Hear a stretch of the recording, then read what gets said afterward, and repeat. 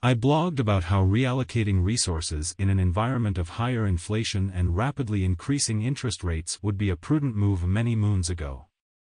To that end, I reduced my investments in many investments in my portfolio, some of them drastically, using the freed-up capital to mostly increase my investments in OCBC and UOB.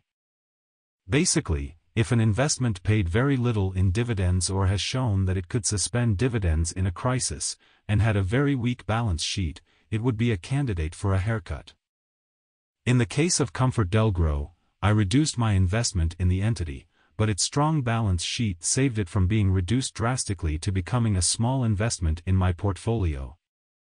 Which was the case for Centurion Corporation. I like to remind myself that Peter Lynch said all investments are good at the right price. Very often, the market misprices stocks.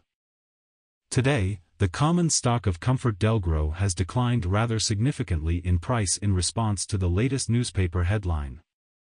Q1 profit falls 56.9%. Although Q1 is usually seasonally weaker for the business, a 56.9% fall is screaming for attention. ComfortDelGro mostly blamed higher cost pressure due to heightened inflation. Labor shortage and a more competitive landscape were also contributory factors. However, we want to keep things in perspective. ComfortDelGro has emerged from the pandemic with a stronger balance sheet. In fact, its net cash position continues to grow. Its net cash position has increased to $714 million from $653 million which we saw at the end of 2022. ComfortDelGro is still a profitable business, although it saw a decline in profit in Q1. All its business segments are showing improvement and with life going back to normal, things should continue to improve in all its markets, including China. Since I brought up what Peter Lynch said, what is a good price to pay for the common stock of ComfortDelGro? The last time I bought some was at $1.15 a share. I thought that was a fair price to pay and I still feel that way now. So, if we want to invest in ComfortDelGro for income, any price lower than $1.15 a share would be a pretty good price to me. At $1.10, for example, without any special dividend, we would be looking at a dividend yield of about 4.2%. Wait, didn't I say I reduced my investment in ComfortDelGro to increase my investments in OCBC and UOB last year?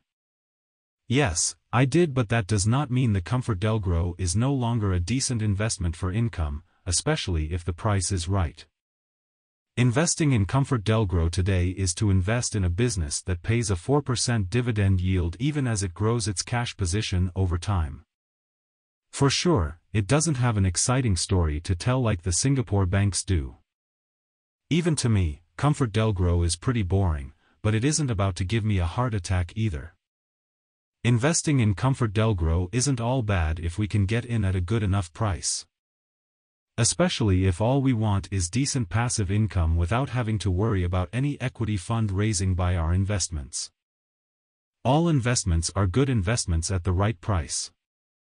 However, to be sure, it would also depend on what kind of an investor you are and what you want out of an investment. Then, you would be able to decide whether ComfortDelGro would be a suitable addition to your investment portfolio.